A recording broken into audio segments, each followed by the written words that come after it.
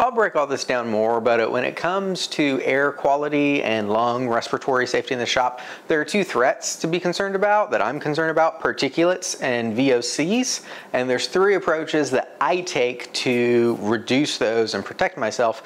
And I think that provides a comprehensive way to stay healthy in the shop and enjoy woodworking longer and make it a safer environment for other people to potentially join you in the shop. In my case, my kids and even my pets that I enjoy having out here.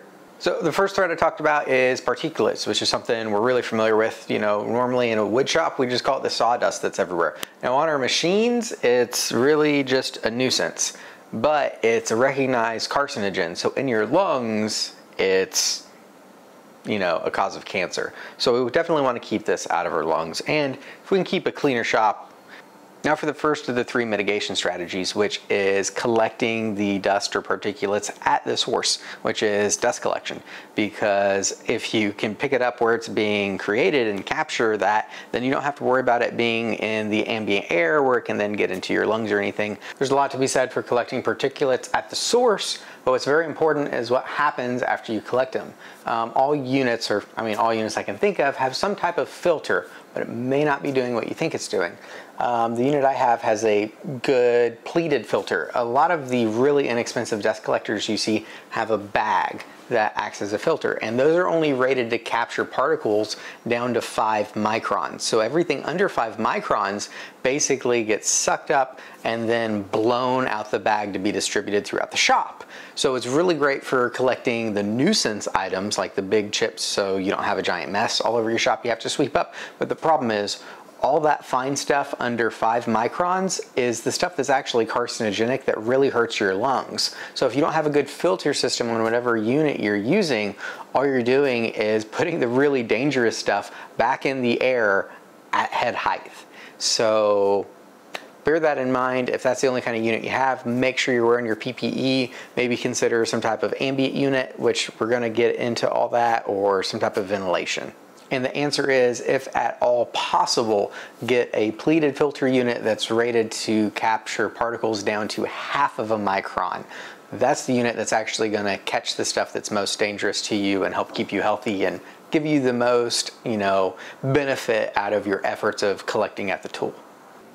So our first strategy, collect at the source, makes a lot of sense with particulates because we can use vacuums, shop vacs, dust collectors, etc. to grab sawdust or metal dust, grinding dust, whatever, exactly where we're working. So how do we do that with VOCs? Well, depending on how you're interacting with it, if say you're spraying finish, you can use a spray booth that has um, positive pressure or a fan to extract so you're pulling all those fumes out of the environment or when welding, a lot of companies make fume extractors. So it's a vacuum you set up close to where you're welding so it pulls those fumes away. So collecting it at the source is still a viable option. Sometimes that isn't. So the next best thing that works here to some degree with particulates is just work in a very ventilated environment like outside where there's a breeze that just carries it all away from you and keeps the area clean. Um, where we normally encounter them in a wood shop is through our finishes and solvents. The obvious answer is use some of the alternatives that are low or no VOC. Um, lacquer is incredibly nasty and just kills brain cells. So use a water-based lacquer or just use a different product. That's one of the reasons I've been a huge fan of the TotalBoat stuff is their Halcyon finishes are water-based, so they're very safe, low VOC, and I don't have to use solvents to thin it or clean it up, just water. Okay, so we've collected as much as we can at the tool, whether it's dust collection to get particulates, or if we're in a spray booth or just have ventilation or have gone outside if we're dealing with VOCs. But the most important part of all this is we're trying to keep it out of our lungs. Inevitably, we're not gonna capture all of it. Some of it will get into the ambient air. So how do we stop it from our lungs? Well, that's where PPE, personal protective equipment comes in. There are different types of masks and depending on what your threat is, depends on what type of mask you wanna wear. Your regular dust mask, and you wanna make sure these are at least N95 rated, just throw in a cloth or bandana, is gonna filter some particulates but as we talked about before, it's probably not gonna catch the ones that are actually dangerous, just the ones that are more of a nuisance. So if you've got at least N95 rated, that's gonna stop the particulates that are most dangerous to you. but only particulates. Um, I like using an RZ mask most of the time and some notes on this. These work for a lot of people, for some people they don't fit well. If your mask doesn't fit well, then air takes the path of least resistance. So if it doesn't provide a good seal, instead of going through the filter, it's going to find ways around the mask and you're still going to be breathing the contaminated air in. So it doesn't help you. Um, I get pretty good seals with this even with my beard. Well, if it's pretty good, not perfect, why do I use it? Well, because the next option, or even these, I don't get great seals with these, so why bother using them? And that's where the philosophy of harm reduction comes in, which is, you know, it's better to do something than nothing. Because going, oh, I'm only going to stop 80% of the particulates and not 100. So you know what? I'm just going to breathe 100% instead of only breathing 20%. Not a good philosophy. Well, why not go to the thing that's gonna work and capture everything? Um, because it's a pain to put on, pain to take off, and it's uncomfortable and they get hot and sweaty. So every single time I'm doing something that's gonna make dust, I'm, I'm just not gonna put this on. And I know that, I've accepted that about myself. So to reduce the harm at those times, I will put this on because it's quick it, and it's comfortable and I don't mind wearing it for extended periods of time because this thing I want to take off as soon as I get it. This, if I'm going to be bouncing between a bunch of machines, I don't mind if I'm wearing this for, you know, half an hour or so, or if I'm just occasionally making dust, I don't mind slapping it on, slapping it off. It's Velcro, it's quick. So it's harm reduction. Now, going back to how making sure we stop the right things. We want to make sure we have the N95 rating on whatever kind of filters we're using to stop the particulates. But those do absolutely nothing for the VOCs. To stop VOCs and filter them out, you need activated charcoal. My RZ mask, um, they do have activated charcoal filters, so they'll do it. And when you're looking at your true respirators, depending on what canister filters you have, you need to check them and make sure whether or not they're activated charcoal or not. If they are activated charcoal, then they will stop VOCs. If they're not, they're only particulates. So even though they may reduce the odor you smell, they're not actually stopping or catching the compounds that are going to hurt your lungs. So that's something to be conscious of. Another thing is realizing that they have a useful life. So whatever filters you buy, make sure you check the documentation and see how long they're good for. Because after time, the activated charcoal just stops working, whether it's in a Uh, cartridge or just a little paper filter. And once it stops working, it's not it's not working. So even though it might reduce the amount of odor you smell, you're still breathing all that stuff in. So that's something to be cautious of. Another thing that's often overlooked with respirators and masks is how you store them. So um, I'm personally not very great at this, but I do want to share the knowledge, even though I don't practice it as well as I should. And that is, you know, it only stops things if the danger stays on the outside and not on the inside. So if you are making dust or spraying something and as soon as you finish while the ambient air is still full of whatever the threat is you take this off and just leave it open. Well guess what? The inside of your mask or respirator just got contaminated. And so the next thing next time you put it on you're basically just breathing in a, a you know concentrated dose of exactly what you were trying to stop from getting into your lungs. Another thing is like we talked about the useful life on those activated charcoal.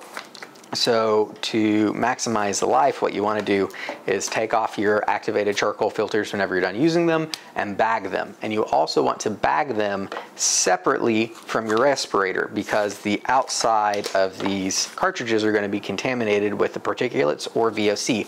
So these go in one container and then your respirator, after you've left the contaminated area, you want to wipe it down and put it in a different bag. Because if you put these in the bag together, even if you wipe this down, everything on these is now just going to get in there. And even if it doesn't, um, they can leach some back out. So, you know, you don't want to contaminate your mask. And wiping it down isn't just about removing it, but also as you're breathing, you're expelling a lot of humidity and moisture from your breath. And these can become, uh, you know, a little Petri dish, disc, dish full of mold and other nastiness you don't want to be breathing. So it really wouldn't be great to you know do all the hassle and take all the precautions to stop particulates eh, or VOCs, but then put on your mask and breathe a bunch of mold spores because you haven't been you know wiping out your mask to keep it from growing nastiness. And I think that about covers PPE. Sorry if that was a little long-winded. Now for ambient air. Air filtration is how we can clean the ambient air to make sure we can keep working faster and maintain a safer environment. This is an air cleaner from Grizzly. You can get them from WEN, Jet, all kinds of other manufacturers are on Amazon fairly cheap. I think you can pick up some of the smaller versions of units like this as low as like $120, 130 dollars, and they work really well. Normally they have a double filter setup, so you have a pre-filter that catches the big stuff, and then a finer filter on the inside, and then it exhausts clean air. However, most of these only work for particulates and don't do anything for VOCs. So with VOCs, how do we take care of ambient air? And that's where the sponsor of this video comes in, EnviroKlenz. This is their mobile air system and it doesn't only clean particulates, but also VOCs from the air. So whenever I'm spraying finish in the shop, even if I'm using that low VOC water-based finish, it's still in the air and this will clean that from the air and not just clean it from the air, but also keep it from getting inside my house through the door because these are attached. Because like most of you, I don't have a detached dedicated shop. I'm just working in my two car garage. Now, for that uniqueness, which is being able to clean VOCs, which is a big deal, you do pay the price for it. This is a $700 unit, but I'm still comfortable sitting here saying I think this is worthwhile and I'd invest in it for a variety of reasons. One, I do this a lot. As I mentioned before, this is what I do full time. So, and I want to be able to keep doing it. There is a real risk where even though I may not have um, a high degree of sensitivity to the things I work with right now so they don't immediately bother me and I can breathe in certain amounts and there's no issue. Sensitization is a real risk, which is basically through repeated exposure, your body develops what's essentially an allergy and where something might not have bothered you before, it starts bothering you. And I don't want to get sensitized to my Halcyon or wood dust or a certain species and then have to take extreme risks or just not be able to work with them at all anymore So this is a precaution I can take to ensure I can keep doing this long term. Fortunately, I don't have any major health concerns with members of my family, but again, I am in this detached shop. However, I know there are people out here there who have family members who are at risk, immunocompromised, have respiratory illnesses, severe allergies, or other issues. So even working in an attached space is just too much of a risk, so you can't worry about the fumes that do make their ways into the house. So your options are build a detached shop or just not engage in your hobby. You could always go outside, which is the obvious alternative, but that only works certain seasons and in certain climates. So here in Tennessee, you know, there's a lot of the year where it's just too humid to be able to, you know, go outside to spray finish and do stuff like that. And in a lot of the world, I know that's the case where it's either too cold or too hot or too humid or whatever. So again, that's a huge limiting factor.